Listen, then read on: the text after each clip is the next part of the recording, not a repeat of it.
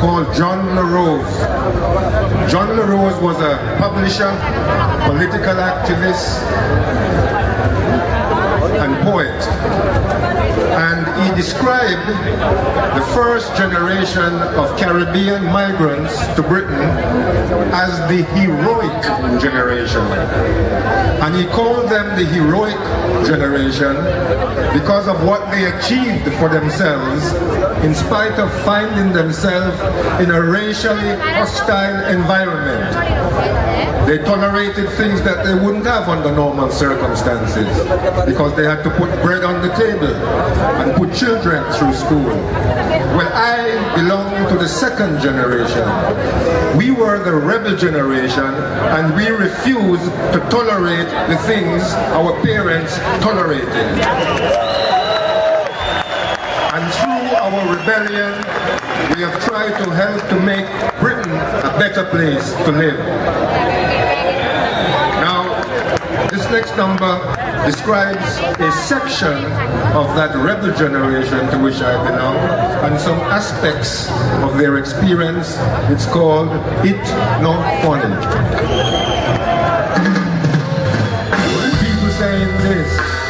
Saying that about the youth of today, how them carrying on away and it's not funny.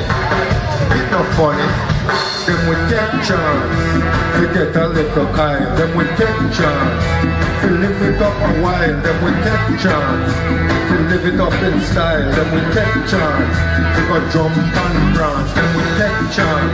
And them love blues dance. Them will take chance. And them don't mouth cars. Saying this, people saying that about the youth of today. All them cards in a free and it's not funny no funny. Then we take chance, and them love us ras. Then we take the chance, then we skip them class. Then we take the chance, we go pop a little style. Then we take the chance, then do it all the while. Then we take chance, but some of them last. Then we take the chance, and them don't go class.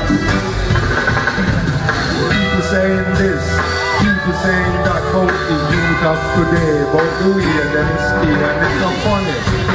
It's not funny. Them will take chance to get a little college. Them will take chance to your little sister Sally. Them will take chance for them feel them force. Them will take chance, but them got no force. Them will take